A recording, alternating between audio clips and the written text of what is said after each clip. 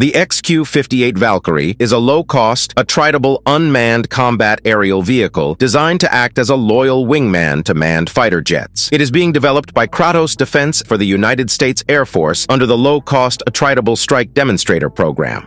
The Valkyrie is a stealth aircraft with a trapezoidal fuselage and a V-tail. It has a maximum takeoff weight of 6,000 pounds, a maximum speed of Mach 0.72, a range of 2,500 nautical miles, and an endurance of over six hours. It can carry a payload of up to 600 pounds, which could include weapons, sensors, or electronic warfare equipment.